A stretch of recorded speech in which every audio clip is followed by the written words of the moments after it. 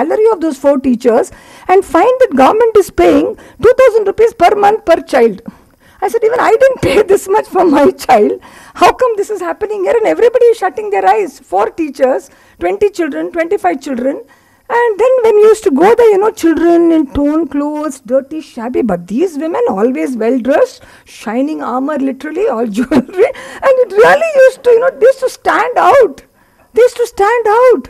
I used to really get so, you know, I used to get so agitated. But what can you say? They are giving them some food, but this is how the system is. And even in the hostels, I used to, I, when, I, when we go to the hostels, I ask the children, uh, how much do your parents earn? They say, madam, they get up at 6 o'clock, they go to the village. At the end of the day, they don't cook in the morning. After they come back, they cook, they get 60 rupees a day. I said, do you know what this warden earns a day? And they're all bright. You know, these days, if you go to schools and hostels, the eyes are like million flashing, the bright kids, because they see TV and they, they want to learn. They have that hunger to learn. Then I said, this teacher is earning 800. What is 800 a day? Yes, I said she's earning 800 a day. Is she giving you 800 rupees worth of care and protection? I asked them, education. Madam, she never comes here. Then Saturdays, auto rickshaws come and take away sackfuls of food and rice and atta and go from here. So I said, why are you keeping quiet? So what is really happening is the consumer is not talking. You and I are talking on behalf of that consumer, and the consumer needs to talk. The consumer doesn't talk, nothing happens. So this is the situation of our country.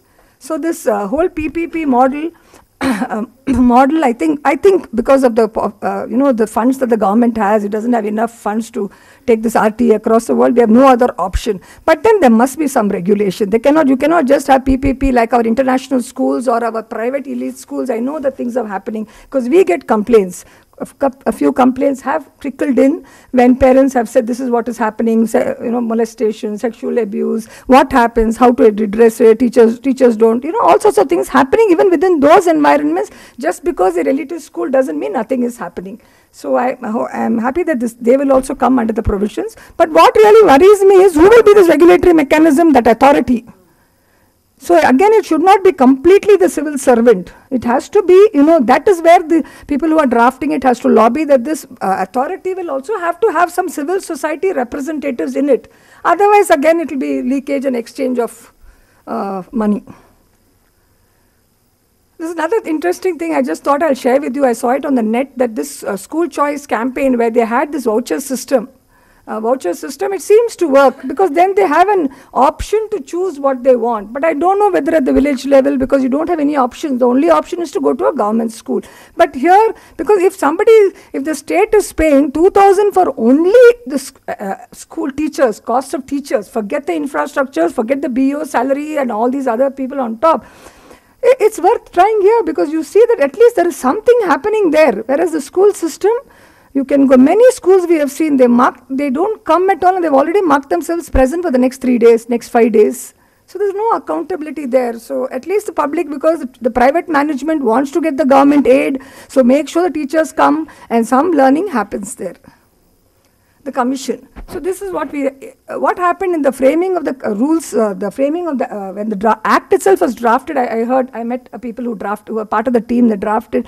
Initially they had an independent other body that would monitor the functioning of the, uh, the, monitor the implementation of the J, of this act RTE act. But somehow they said there's already the system is there an, a national commission and the states commission let's give the responsibility to them. So while the responsibility is not given the mother act the commission for protection of child rights act 2005 they've introduced it here.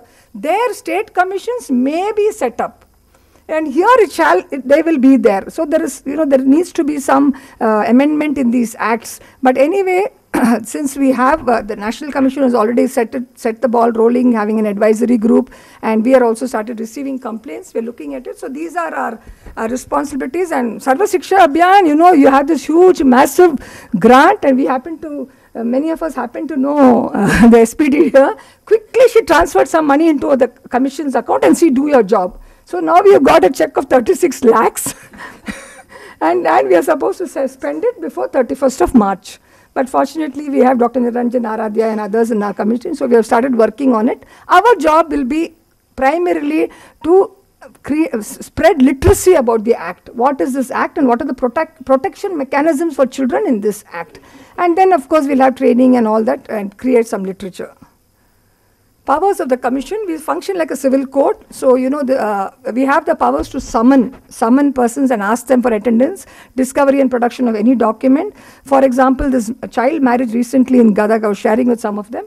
Child marriage in gadag we've been very very uh, you know intrigued upset how these mass marriages are going on. Because when we go there we see so many girls 14 15 sitting down there. They've already produced certificates. So this time what we did we took those certificates. We brought all seized all the files. About 69 girls who got married, we, were, we, were, we brought those files and we wrote to each of the schools from where they came, sent us the original document, or I mean Xerox of the uh, admission register. And out of the 69 so far in the last two months, 29 uh, cases we have seen they're all 14 and 15. So, so then we look at this issue, commission will look at the issue not only as uh, a violation of the child's rights, but also what has the state done for a child from 15 to 18? Has the state made enough provisions for a child? What will the child do? Child finishes, okay, you say parents are very keen, now girls also finish SSLC. Many places they finish. After SSLC, do what? What? How does, how, does the, how does the family protect the child? So marriage is the best protection. So this is what is happening. And then because the CDPO and because the headmaster is the person who is called child marriage prohibition officer and if they show that they have in their district there are yeah finish if they, if they if you show in their district that there are three four marriages then it's a it's a black mark on his uh, you know his confidential report so he says no marriages have happened so we go into schools and we see the number we talk to girls and we find out many of them are wearing talis so you know we have to pick it up like this this is what we do uh, sometimes what happens if the commission cannot be traveling all over the state, we can even set up persons. So all of you here, your civil society, you can just write to us and say this is an issue of concern. And if you have some credibility, your background, we'll immediately say that we are appointing you as the commission, do an inquiry and get back to us. Based on that inquiry, we can act.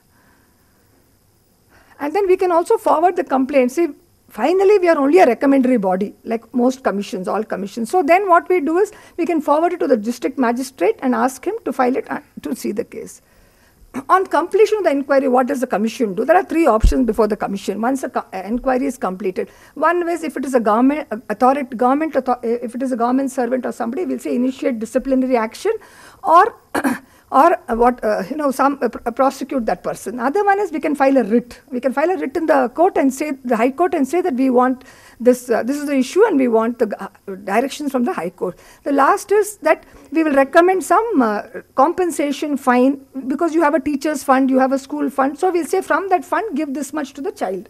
Like recently we had a case where the, when the hot food was being served, the child fell into the that hot thing and died. Ah, that's uh, uh, the hot food just get all the children are standing in the line and you know one child rushed in. So then we'll say what is the compensation you have given to the child? What are you going to do? So these kind of issues.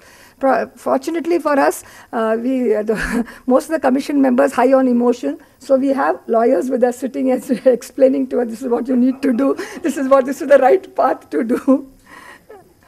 Uh, I feel that you know moving forward the challenges maybe some little user fee could be charged to families because today there is some money even the poorest of villages because when they pay a user fee they can demand a service and that that's something that may, you may have to consider.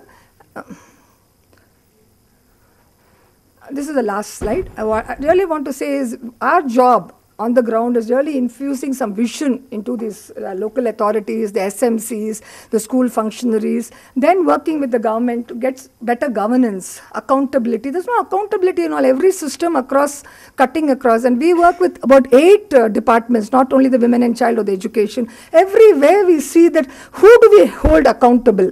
If a child in a sports hostel is supposed to get 130 rupees per day as food, boarding, lodging, education, and he gets only 30 rupees, we try to study in that line hierarchy who is that person accountable for the child not getting what is entitled to.